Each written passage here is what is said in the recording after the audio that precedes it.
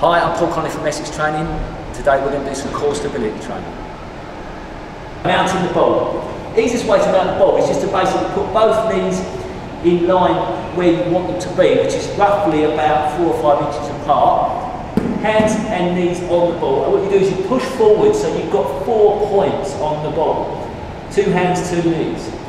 Then the idea is just to find the centre of the ball. Once you've found the centre of the ball, and you hold the middle, your back, you want to come straight up and hold the middle.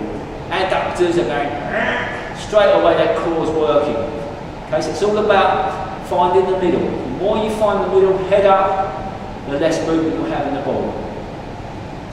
This next exercise works those really deep core muscles and gets everything fired up.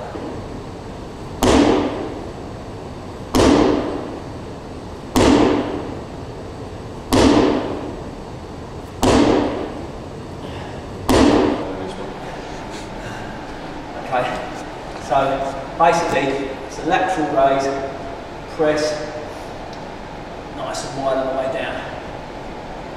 Two.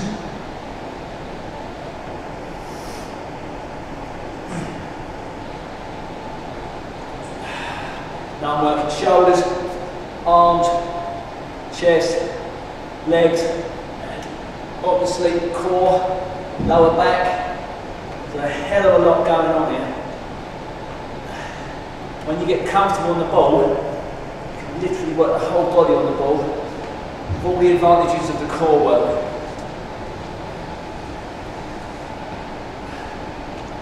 You need to support your neck, your tongue in the roof of your mouth. So, your neck stable. It's really open to shoulders up. At the same time, having the balance of the ball so my core's having to work. My adductors especially, inner thigh, my glutes, lower back, everything's working. Even my chest, arms. There's not much that's not working. Basically, the only thing I can think of that's not working at this moment in time my calves and my feet. Everything else seems to be working, especially that core. That's enough of that. It's really important to stretch at the end of any workout. Basic, well, really, the, the main reason is to, to dispel waste products. When you exercise, we, we build up lactic acid, carbon dioxide, and stretching helps flush that, that the waste products out.